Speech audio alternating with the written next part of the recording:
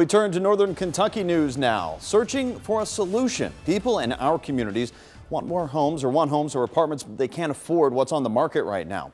A forum tonight, though, will revisit the topic of affordable housing. Our Jake Ryle is live, in fact, right now with the, the crucial need and how you can be part of this conversation. Jake.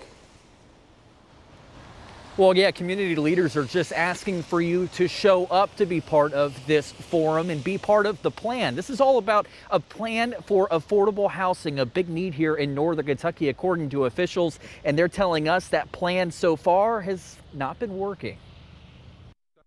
The year is 2006, a new plan for the Jacob Price apartments. Economically inefficient. The costs um, to renovate these would be more than more than to provide uh, new housing. We'll have uh, hardwood floors throughout. But even then, the plan had issues. I do not see uh, a redevelopment plan where the residents will be able to uh, relocate. These apartments torn down, and in its wake, River's Edge at Eastside Point. It's an affordable housing community, but not large enough to fill the gap from how many people were sent packing from the Jacob Price complex. But the same thing in Newport. I mean, we're seeing housing projects that are torn down.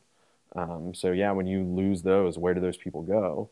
And then there's no other housing being developed, so that's an issue. Justin Beal tells me this is one of 92 affordable housing units Welcome House in Covington maintains. They're a nonprofit organization with a goal of getting folks a roof over their head. There's a really great need for affordable housing. What we're seeing is that homelessness is on the rise, um, and that the people that we're seeing experiencing homelessness is ever changing. I mean, we're seeing more families um, because two bedroom and three bedroom apartments are so expensive.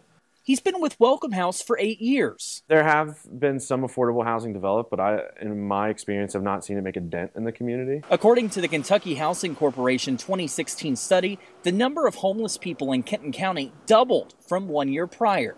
Beal says the focus for homelessness should be on the underlying problem. People should know there's not enough housing and that you know, right now we're we're putting a band-aid on many issues, um, but without housing, we're not going to be able to really people. Um, it's great to provide blankets and, and provide food, but those aren't solving the real issues that are facing the people in our community. Which is why tonight's event, coming up with a plan, is so important. I don't think a lot's being done in our community right now. I mean, I think tonight at the forum is a great opportunity where people are getting together to discuss it.